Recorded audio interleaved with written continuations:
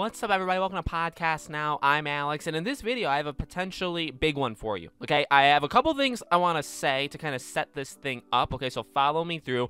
Basically, there is this uh, insider, okay, and uh, I want to disclose the fact, and it's not even disclosing like I'm hiding it. I actually have talked to this guy before. I've actually had him on my channel before. I've interviewed him. We talked about E3 right before E3 happened, okay? So I don't want that to, you know, I don't want that biasness kind of to come through or for anybody to think something that's not true. This His name is Roberto Serrano, okay? He's gotten things, and I'm this sounds cliche and stupid to say, but it is very important. He even acknowledges. He knows he gets things right. He knows he gets things wrong. And he's absolutely gotten things right. He's actually called things very accurately and been ahead of pretty much everybody else I've seen on certain things. He's also been very wrong and just flat out things that he said have never never come true. Okay, that's why this is potentially a big thing, okay? He's also Spanish, so in the way that he tweets and the way that he writes, it's a little, it's kind of broken English. Uh, and that sometimes does confuse people because his wording is sometimes messed up and he'll have to like issue another tweet to correct things. So I know a big setup, but basically, as you guys probably saw from the title, want to talk about Hogwarts Legacy. Now, he was doing a Q&A um, a couple days ago on Monday, and somebody said, Hi, Roberto. I really like this session and your predictions. What is the situation with Suicide Squad Kill the Justice League and Hogwarts Legacy? When will these games be shown next time? And he says, Suicide Squad is still in development, and a big update may come out next year. Hogwarts Legacy is expected to be released next year and will be shown at the next events, not necessarily PlayStation. Fingers crossed. Now, a couple things to realize and recognize before we lose our minds, right? Is that a lot of these are mixes of his own personal predictions mixed with what he knows from the inside, okay? And he did a lot of these. So he did a Q&A. This was one question out of like 30 plus that he answered. I applaud him for doing it, and we'll have to see how many he gets right at the end of the day, right? Because if he gets like two out of 30 right, well, that's not a very good track record, and he should probably not do these if he's going to get most of them wrong. That's not going after him. That's not, you know, really elaborating anything more than I just hope he knows what he's doing. But again, the way he talks, if you don't, and, and I'm not saying like I know him, like he's my personal friend. He's not, okay? But again, I've talked to him before. I've been following him for many years. I've been reading his tweets for, you know I mean, for a long time. So if you, it's the first time you see his tweet, it's like, well, you know I mean? Like what I just read out doesn't exactly sound, it sounds weird the way he says it. So let's break it down. I'm to skip specifically to the Hogwarts Legacy thing. Hogwarts Legacy is expected to be released next year versus, by the way, when he says Suicide Squad is, is still in development and a big update may come, come out next year. That to me indicates that at least whether he knows it or he believes it, he, he one of those, he thinks that Suicide Squad probably isn't coming out next year, but that Hogwarts Legacy is. So that's good in case there was anybody that thought maybe the game would get delayed till 2023. To be flat out honest with you guys, that thought has never entered my head. It never will. If it happens, I'm going to jump off a cliff and you'll never see me again. Okay? Uh, but Hogwarts Legacy is expected to be released next year and will be shown at the next events. Now, again, that's not how you would normally say that line, but that's how he said it.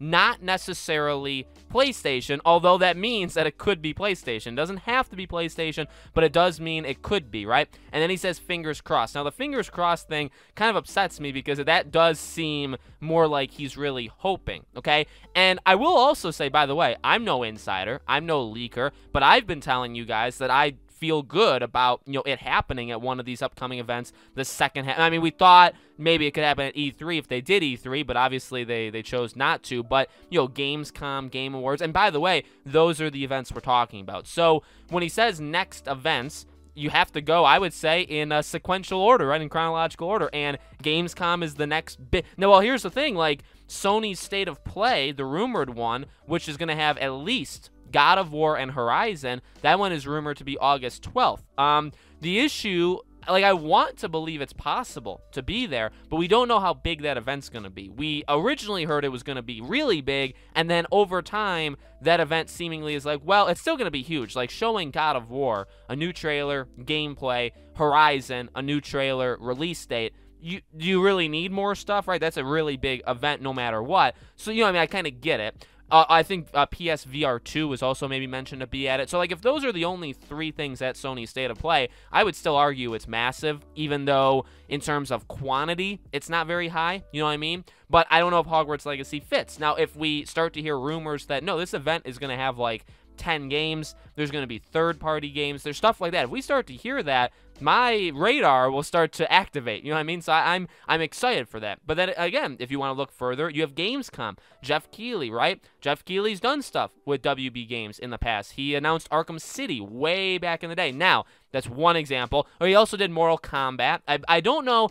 I don't think he. Well, he's done Lego Star Wars. I don't know if he announced it, but I know he did uh, the most recent trailer for Lego Star Wars. That was last year at Gamescom. So he does have ties, a lot of ties to WB Games. He likes. It seems like he likes to show stuff of their properties. So could Gamescom be one? Yeah, I think it, it could. After that, it really becomes nothing. There's we, uh, you know, maybe Sony does more. Maybe Microsoft does more from September through November, but then December is the Game Awards. So I know it's annoying to say because trust me when i have seen people say it in past years i got annoyed. So i assume you guys may get annoyed when i say it. You know when we just say well look to the next event. Like oh it wasn't at e3 alex do you think it's going to be a gamescom? Well maybe. Like i like the entire th- people asking that, people think like that whole path, me answering it, all of it's annoying. You know what I mean? Because it's like, I, you know what I mean? Just just to be honest with you guys, like we all just want the game. You know what I mean? I, I don't think we all want to ask me and then me to say, well, maybe, maybe not. And same thing with him, right? It's like, well, the next events, and he's and he makes it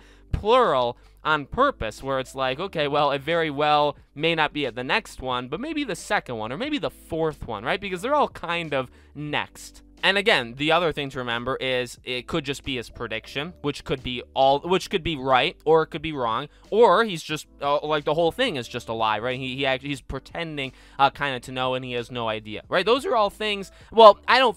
To be honest with you, again, I don't know the guy. We don't go out to like brunch together, but I don't think he like purposely lie, purposely put stuff out there that he knows full out uh, isn't true, right? Because he he knows his credibility isn't like 100%. He knows people question him, so why make it worse? You know what I mean? So that's uh, that's something that I think if you follow him and you look at uh, the stuff he said enough, that's the vibe I kind of get, where it's like, why make an issue that's already there bigger by, by like almost purposely sabotaging yourself, right? So again, like potentially big. It's kind of you know, when I saw this, so I like I was watching this Q&A Twitter thing happen kind of in real time. When I saw this, I got excited because it's like this is somebody that I, I do respect. You know, again, he's talked to me. He, he's a really nice guy. All that, like in terms of a person, he's a nice guy. So like I, I like him, and uh, I, I like to see him kind of backing. Not not like he knew I said this stuff and he's like backing it up, right? But just to kind of have more people talk about it. I think it makes sense. I really do. I think it's kind of all the reasons we've talked about over the last